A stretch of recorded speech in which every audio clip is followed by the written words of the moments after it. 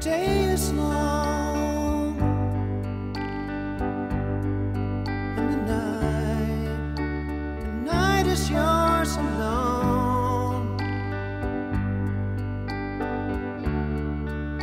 When you're sure you've had enough of this life,